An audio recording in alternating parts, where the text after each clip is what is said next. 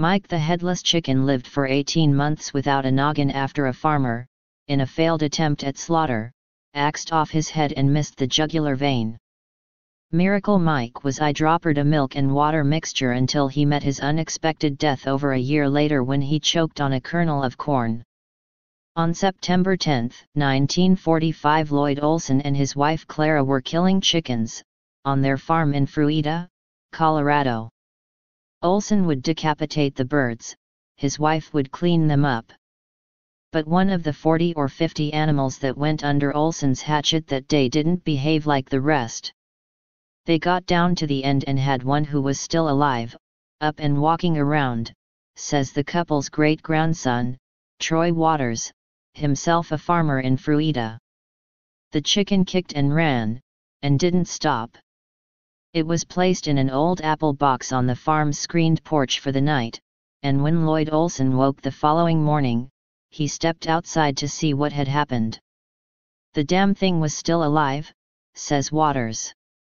It's part of our weird family history, says Christa Waters, his wife. Olsen realized he had in Mike an attraction that others would pay to see and spent the next 18 months exhibiting the headless rooster at fairs, carnivals, and other public events.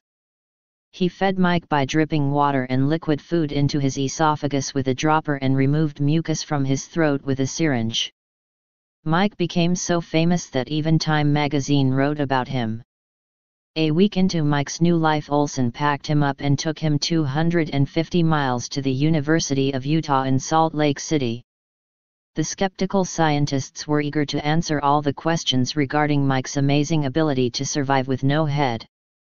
It was determined that axe blade had missed the jugular vein and a clot had prevented Mike from bleeding to death. Although most of his head was in a jar, most of his brain stem and one ear was left on his body. Since most of a chicken's reflex actions are controlled by the brain stem Mike was able to remain quite healthy. Scientists at the university determined that it was indeed Olsen's careful aim and a bit of luck that had created this magic.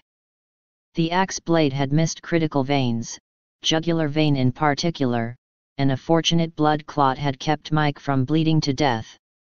In addition, the cut had spared part of Mike's brain stem and left it intact the section of the brain that controls breathing, heart rate, and reflex actions. Olsen's blow had not deterred Mike from hopping around the yard or climbing to sit on his perch.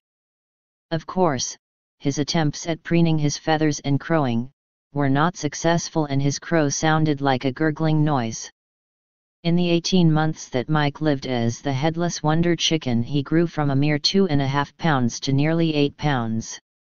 In an interview, Olsen said Mike was a robust chicken, a fine specimen of a chicken except for not having a head. Miracle Mike took on a manager, and with the Olsens in tow, set out on a national tour. Curious sideshow patrons in New York, Atlantic City, Los Angeles, and San Diego lined up to pay 25 cents to see Mike. The Wonder Chicken was valued at $10,000 and insured for the same. His fame and fortune would earn him recognition in Life and Time magazines. It goes without saying there was a Guinness World Record in all this. While returning from one of these road trips the Olsens stopped at a motel in the Arizona desert. In the middle of the night Mike began to choke. Unable to find the eyedropper used to clear Mike's open esophagus Miracle Mike passed on. Though his amazing story ended many decades ago, Mike the Headless Chicken has not been forgotten by the citizens of Fruita. Every year, the city hosts a festival in his honor, which draws hundreds of attendees from around the United States. Please leave your comments below. Take care and be safe. Bye.